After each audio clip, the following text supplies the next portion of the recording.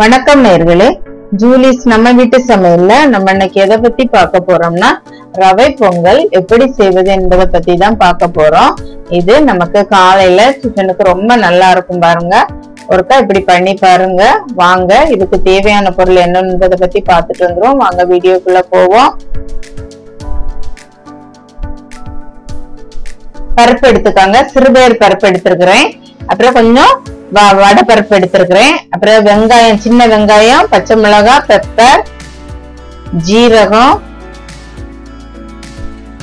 அப்புறம் ரவை.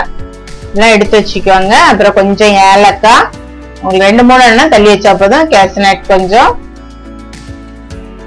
அப்புறம் நெய். ஒரு ரெண்டு மூணு ஸ்பூன் எடுத்துக்கோங்க. பருப்பை இதை மாதிரி வேக வச்சு எடுத்துக்கோங்க. தேங்காய் பால் எடுத்து வச்சுக்கோங்க. ஒரு முடி தேங்காய் அரைச்சி பால் எடுத்து வச்சிருக்கேன் இந்த தேங்காய் பால்ல ஒரு கடாயில ஊத்திக்காங்க. நம்ம தேங்காய் பால்ல தான் வேக வைக்க போறோம். அப்ப அந்த மணமும் எல்லாம் நல்லா இருக்கும். முதல் பாலும் ரெண்டாவது பாலும் எடுத்துக்குவாங்க அப்புறமா அந்த ரவைய லைட்டா வறுத்து வச்சிருக்கிறேன் அந்த ரவைய. நீங்க உங்களுக்கு வறுக்கணும்னு அவசியம் இல்லை. ஆனா வறுத்த இன்னும் கொஞ்சம் நல்லா இருக்கும். அதுக்கு தான் லைட்டா வறுத்து வச்சிருக்கேன். கலர் மாறாம வறுத்து எடுத்துக்கிடணும். இந்த தேங்காய் பால் கொதிச்ச உடனே அந்த ரவையை கொட்டிருங்க கொட்டிட்டு பாருங்க. இத மாதிரி கிண்டி எடுத்துட்டே வாங்க. அப்புறம் நம்ம வேக வச்சு வச்சிருந்தோம்ல சிறுபயிர் பருப்பும் அந்த பருப்பு இதெல்லாம் போட்டு நல்லா அழகா வேக வச்சு வச்சிருந்தோம்ல அந்த பருப்பை கொட்டிக்காங்க. இது நல்லா இருக்கும் பாருங்க. நம்ம என்ன ரெண்டு பருப்பு சேர்த்து செய்யறதுனால ரொம்ப டேஸ்டாட்டும் இருக்கும். ரவை வெந்த பிறகு அதை போட்டுக்காங்க. சிலவங்க ரெண்டு சேர்த்து போட்டு வேக வைப்பாங்க. இப்படி வச்சிங்கன்னா என்ன நல்லா இருக்கும்? எண்ணெய் நம்ம தேங்காய் பால்லே செய்யறது ரொம்ப டேஸ்டா இருக்கும். இன்னொரு கடாய அடுப்புல வச்சு கொஞ்சமா நெய் விட்டுக்காங்க நம்ம எடுத்து வச்சிருந்த நெய் உங்களுக்கு நெய் வேணும் தேவைப்பட்டுனா கொஞ்சம் ஊத்திக்காங்க.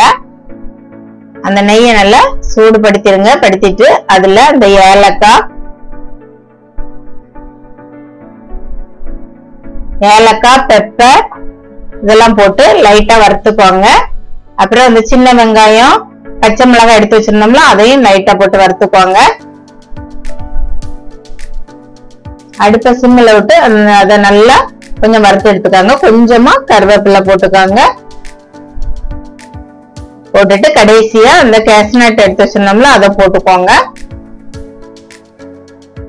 அதையும் போட்டுட்டு அந்த ரவை நம்ம பண்ணி வச்சிருந்தோம்ல பொங்கல் அதுல ஊத்திருங்க.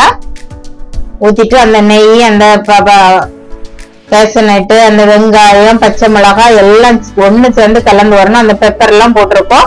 பெப்பர் பவுடர் போடாதீங்க. இதே மாதிரி பெப்பர் எடுத்து ரெண்டா உடைச்சு போட்டுக்கோங்க. பாருங்க இப்ப நமக்கு ரவை பொங்கல் அழகா ரெடி ஆகி வந்துச்சு.